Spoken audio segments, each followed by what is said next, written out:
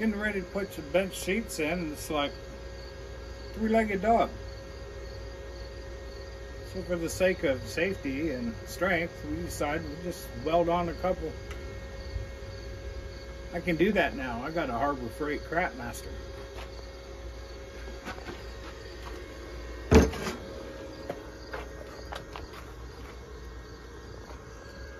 Old piece of bed rail.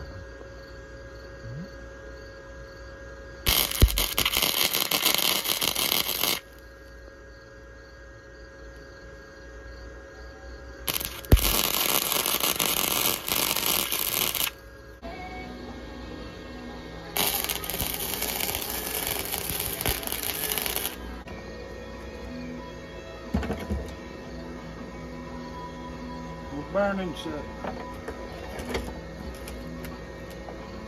See if we can set this drum on fire again. That ain't falling off.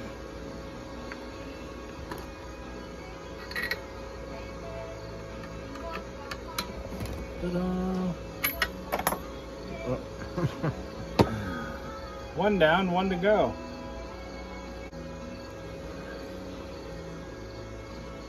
Next. Next.